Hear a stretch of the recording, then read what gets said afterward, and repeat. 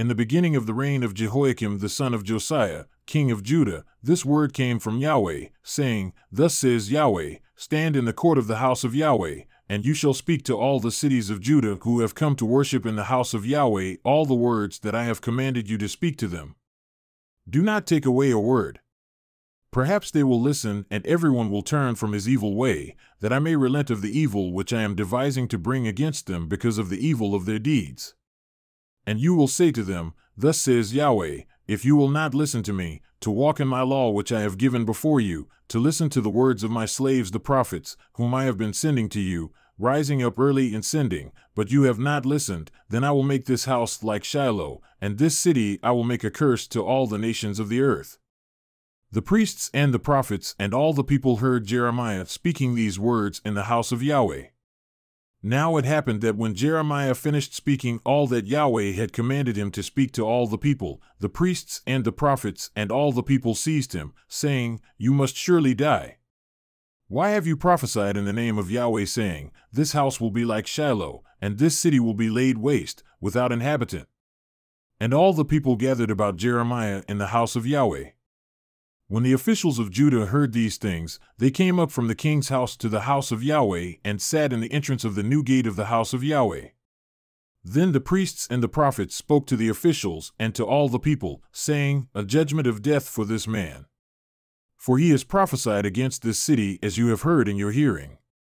Then Jeremiah spoke to all the officials and to all the people, saying, Yahweh sent me to prophesy against this house and against this city all the words that you have heard.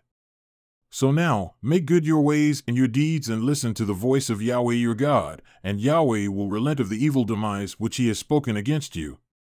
But as for me, behold, I am in your hands. Do with me as is good and right in your eyes.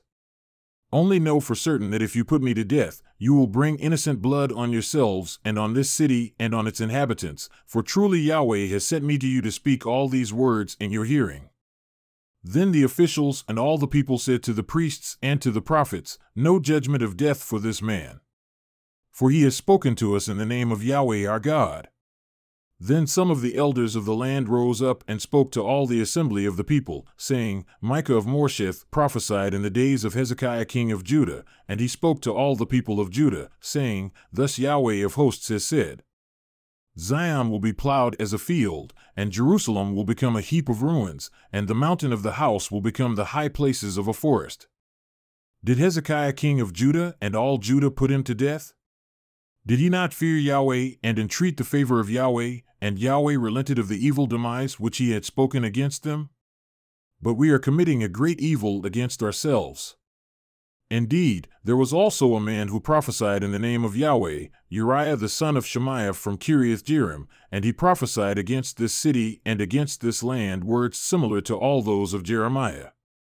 And King Jehoiakim and all his mighty men and all the officials heard his words.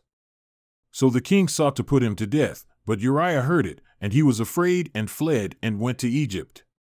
Then King Jehoiakim sent men to Egypt Elnathan the son of Achbor and certain men with him went into Egypt.